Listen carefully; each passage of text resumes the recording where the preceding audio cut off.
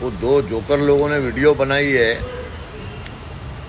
कि एजाज भाई, आपने हमको धमकी दी थी, हम लोग बम्बई आए हुए, बंद कमरे के अंदर बनाई हुई है, उसमें बम्बई किधर है और एड्रेस किधर है? अबे जंगल में मोर नाचा किसने देखा?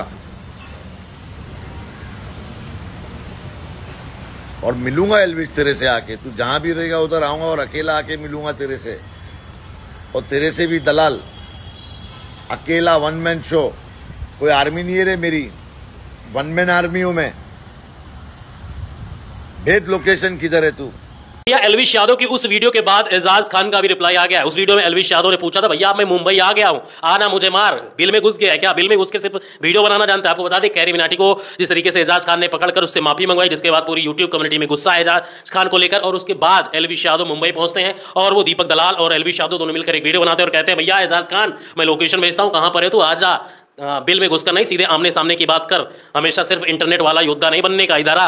उसके बाद लगातार लोग कह रहे हैं कि भैया आजाज खान बिल में घुस गया है, कोई कह रहा है भाग गया है, भगोड़ा घोषित हो गया है। क्योंकि आजाज खान ने कहा था, भैया, मुंबई आएगा कैरियर बनाने के लिए, तुझे छोड़ूँगा नहीं।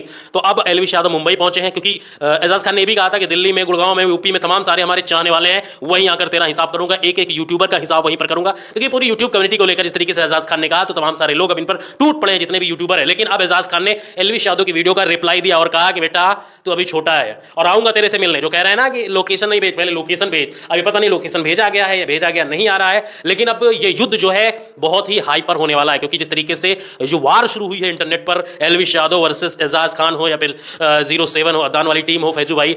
तो ये सारे लोग, लेकिन एजाज खान जिस तरीके से एलविश यादव को टारगेट किया और उसके बाद एलविश यादव ने किया, फिर इसका एक वीडियो बनाया। आप देखना है कि घमासान कितना बड़ा होता जाता है, क्योंकि घमासान बढ़ने वाला है। लेकिन अब देखना यह है कि भैया, ये लोग दोनों आपस में आकर मिलते हैं लड़ते वड़ते हैं कि नहीं, सिर्फ़ इंटरनेट पर ही हवा हवाई फेंक रहे हैं। दोनों, क्योंकि हमने कई बार देखा कि बहुत सारे ऐसे लोग हैं, सिर्फ़ अपने बूस्टअप के लिए, अपना हाइप बनाने के लिए लोग कंट्रोवर्सी करते हैं, उसके बाद आते हैं, भैया, भाईचारा मिलाकर, हाथ हाथ मिलाकर कहते हैं, भैया, आज के बाद कुछ नहीं होगा, दोनों भाई भाई भाई भाई भाईचारा दिखाने लगते हैं। लेकिन एजाज खान और एलविश यादव के बीच में, देखिए, घमासान होता है या फिर ये सिर्फ़ एक तमाशा बनकर ही रह जाता है। जो भी अपडेट होगी, हम तुरंत आपको देखें लेकिन उससे पहले अगर फेसबुक पर है तो पेज को फॉलो कर लें यूट्यूब पर है तो सब्सक्राइब कर लें और इंस्टाग्राम पर जाकर तुरंत इसे फॉलो कर लें, क्योंकि सबसे पहले अपडेट हम आपको यहीं पर देंगे। इन दोनों के बीच में जो भी झगड़ा होगा, जो भी अपडेट आएगी, सबसे पहले हम आपको यहीं पर देने वाले हैं।